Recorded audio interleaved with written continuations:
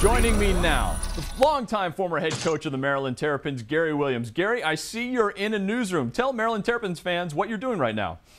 Well, I'm doing some things for Comcast, and uh, they've been nice enough to uh, let me comment on uh, basketball, mostly college basketball, and it's really enjoyable. It's uh, really different than when I was coaching, but uh, you know, you, you, you, realize now that uh, when you watch games, you have all the answers, and you wish you had those answers when you were coaching. Now, I know you obviously had to answer a lot of reporters' questions. You might have gotten tired of it a time or two. How does it feel to be on the other side now? Well, I, I think everybody has a job, and that's what you have to realize when you're coaching that uh, people are trying to do their jobs. Uh, now there's so many more people involved in that business with the bloggers and sports talk radio and all those things that uh, there's more people to deal with. But at the same time, you know, as long as things are accurate and uh, you get a chance to respond, I think most coaches are satisfied uh, in the media situation. So you're seeing a lot of games now, breaking down a lot of tape. Do you get the itch to coach again?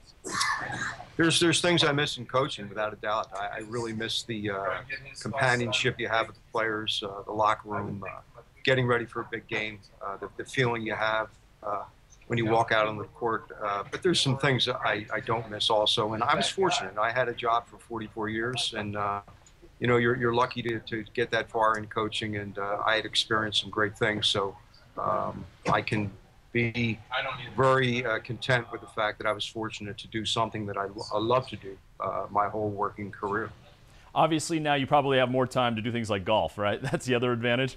yeah, but it doesn't matter. You don't get any better as you get older. You, you know, whatever better you get, you, you lose it by your, your getting older. So, but it's, it's, it's still something you can be competitive in. It's a lot of fun. Sure. You know, we were talking here in the newsroom about all the great Maryland Terrapin teams you've had over the years. Could you put together a starting five of the guys you coached when you were at Maryland? Well, that'd be hard. Uh, I was fortunate, as you said, to uh, to have some not not just great players, but uh, great people. If if you look at the talent end, certainly Joe Smith, uh, he was uh, number one pick in the draft uh, after two years, sophomore of the year in the country.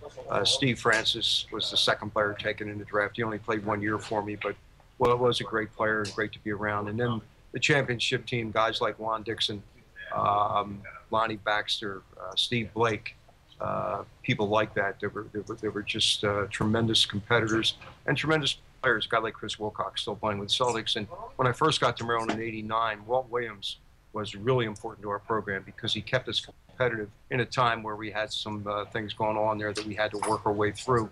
And uh, with, without Walt, we probably would have never been able to do the things that we did do. Gary, not only were you a longtime coach at Maryland, you were also a graduate there. How do you feel about Maryland leaving the ACC?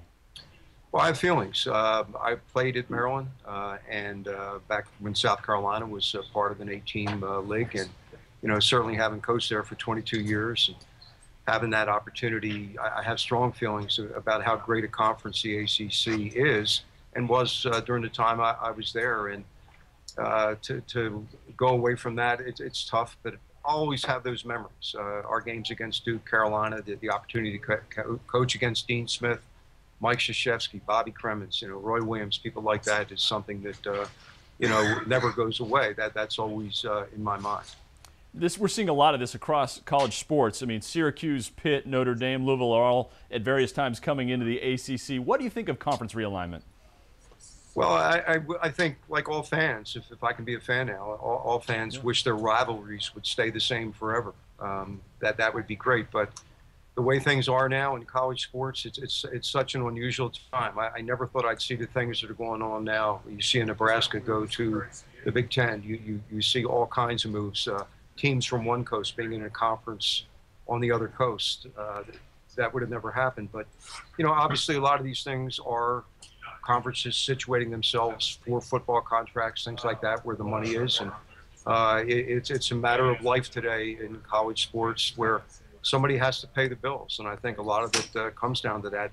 What's the best way? What's the best position for your school to be able to run a total program where everyone's treated with the best equipment, the, the, the best uh, things that are available to any student athlete.